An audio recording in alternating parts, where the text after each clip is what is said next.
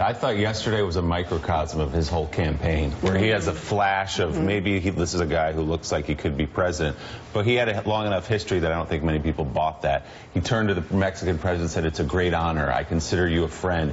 He was speaking in diplomatic terms, mm-hmm. Right.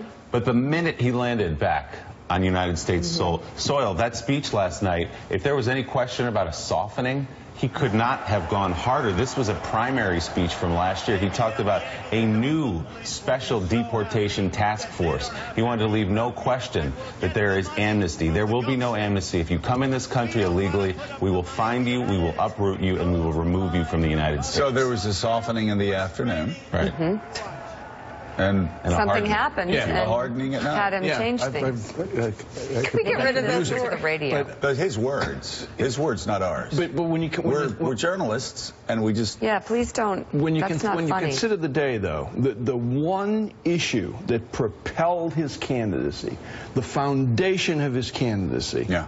He walked away from it in Mexico City, returned to it in Phoenix, Arizona, in the space of six hours, from 4 p.m. Eastern till 10:30 So, can I ask p.m. this Eastern. question? I defy you to tell me what his immigration policy. Can I ask this question of anybody around the table? How do you how do you have one issue that is your key issue, which is building the wall? Which is so the stupidest much thing I've ever heard. So much so that that is the punchline in your rally, right? Mm-hmm.